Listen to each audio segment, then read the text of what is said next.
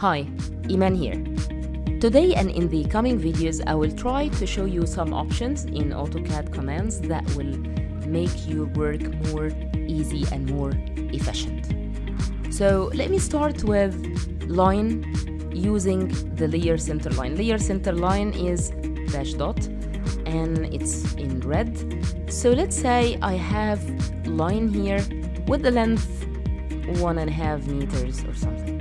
If I asked you to offset that to the right side and left side, and let's say this is a center line of a wall and you need the right side and the left side to be the wall itself, but sure you don't want the two lines to be on the layer center line. You want to move them to the layer wall.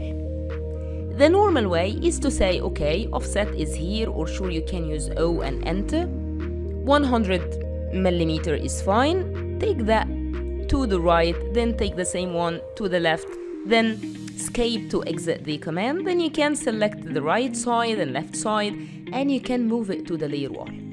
Okay, this is not bad, but we have a better way. Let me show you what is the other way.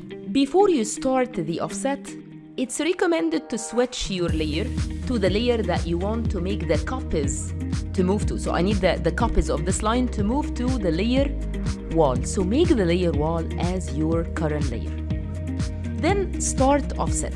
Once you started offset, you can see at the command line the option layer and it tells you here in the settings that your layer is the source. Actually, I don't want the layer to be the source. I need the new copies of this line to move to another layer. So this is why I will click here on layer and I will select current. Current, I mean, it's the layer wall.